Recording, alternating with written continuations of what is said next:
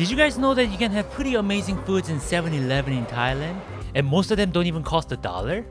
Today I'm going to world's biggest 7-Eleven store and I'm going to try their food that is known for being tasty and just ridiculously cheap.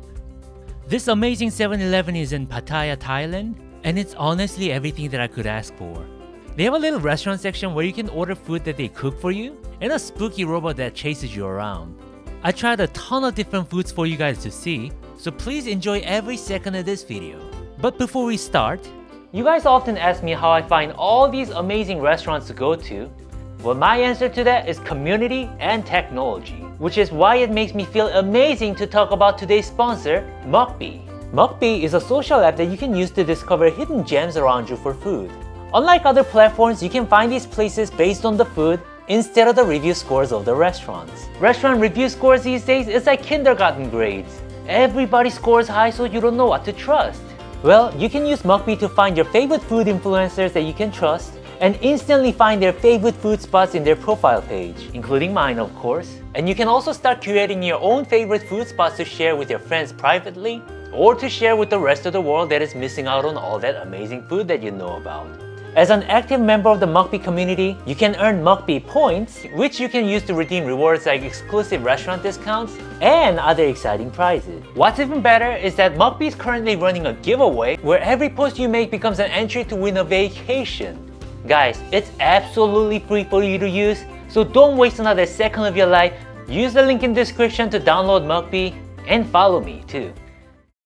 Okay, we're back. It's not my first time coming to an Asian convenience store, but this is probably one of the biggest one I've seen.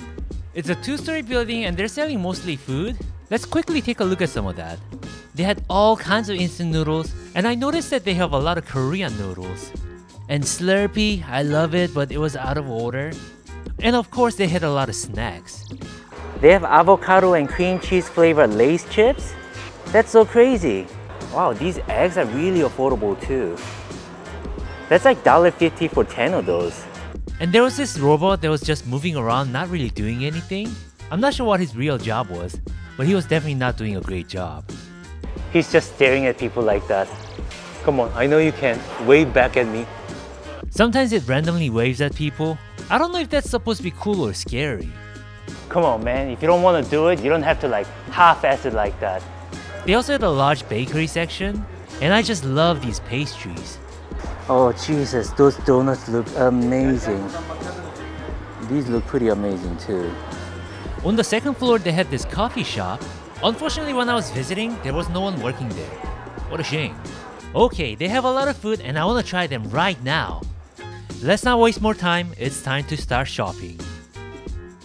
Alright, I actually came from the gym just now. Let's get some food. I need lots of it. Kinda wanna try this avocado cream cheese Lay's chips. That sounds crazy, but that sounds crazy good. They have Demon Slayer snacks here too. It's just my personal opinion, but Demon Slayer doesn't have a great plot. But you guys make your own decision on this. Would you guys fancy some cuttlefish crackers? How much of it is actually cuttlefish? I don't know. Let's find out. Wow, this place is so great. Oh my god, I love this place. Ham, cheese, spinach, double sandwich. Don't know what that is, it just sounds awesome. I love the packaging design. Look at this character, it's so cute. I also want to try this uh, very popular Thai instant noodle. Some kind of tom yum noodles, I think. Now, I would love this basil chicken spaghetti.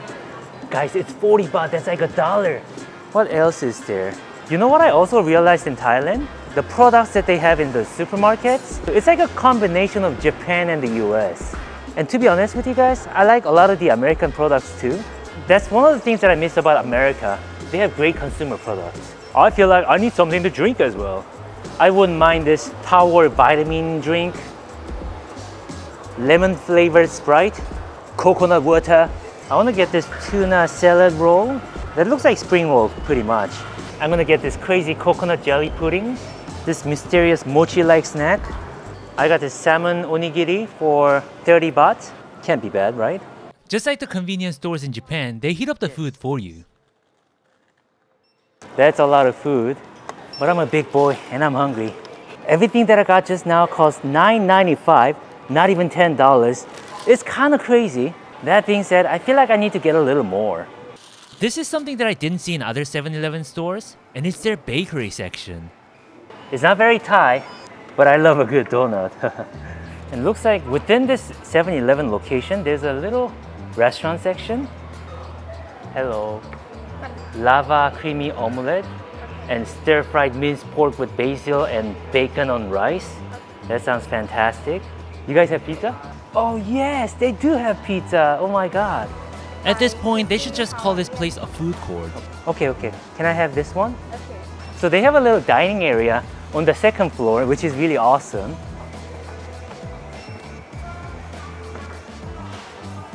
So yes, everything I got here cost about $15 total. Unbelievable, right? I mean, look at that. What the hell? That's real food. I feel happy just by looking at this. So let's get started. I feel like this is going to be really worth it. I got it from their restaurant. This is something that you see everywhere in Thailand. Check this out. It's minced pork with basil leaves and rice. So is 7-Eleven representing Thai food the way it should? Of course it's not as good as the ones you would have in like outside restaurants, but I'm still very, very satisfied with this. How much was this? This was like $3 too. So I would say this is definitely far better than one of those packaged food. But I can tell that it was kind of pre-made, so it wasn't like restaurant food. Wow. Don't get me wrong though, it is very good. Let me try this microwavable stir-fried noodles. They're actually using spaghetti noodles. And let's be real here, it's a microwavable noodle. But the look of it honestly seems very promising. The noodles are still alive. So how good is this Thai spaghetti? Again, it's like a less good version of a, a restaurant food. It's not quite as good. It gets pretty close though. You know one of those frozen spaghetti noodles that are always on discount? I would say this is much better in quality and much bigger portion too. This is kind of random, but when I was a teenager, some of my friends' moms used to give me one of these noodles for dinner. This might sound very entitled, but now that I'm older, I realize that they just wanted to give me the cheapest food possible. I would cook amazing food for my kids' friends, let me try this Thailand's very popular tom yum cup noodle. Let me tear this off. Actual tom yum soup. The color of the soup looks legit.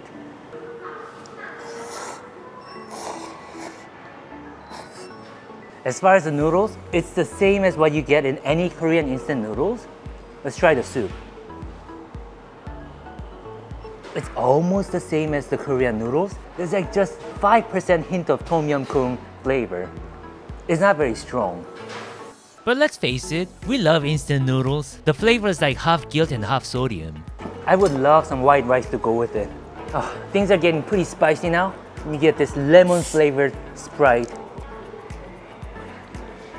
It's like sparkling lemonade. This is a secret, but I have a really strong addiction to soda. I like it.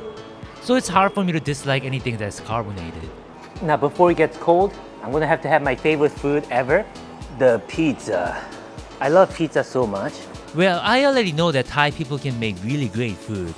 Do they make great pizza though? Yeah, their pizza's okay. It's like very, very basic. I wouldn't call this like a well-crafted pizza. It's not even as good as Pizza Hut, but you gotta realize that it's very affordable. It's okay. I would have loved to see some more topping, maybe some more cheese. It wasn't bad, but it wasn't quite enough to awaken the inner Italian in me. Okay, moving on, let's try this tuna spring roll. Has a little bit of tuna. It definitely has tuna. Has a dipping sauce.